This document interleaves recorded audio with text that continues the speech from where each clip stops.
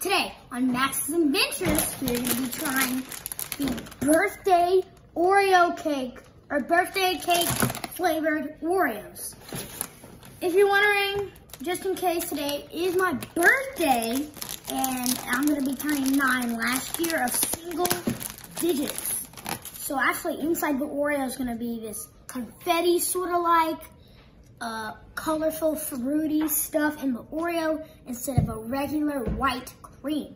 I'm gonna try a bite and I'm gonna tell you how I like it.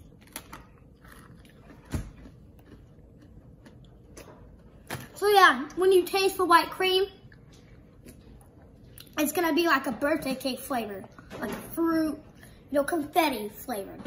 And it just mixes so well with the chocolate. I'm gonna rate it around an eight out of 10.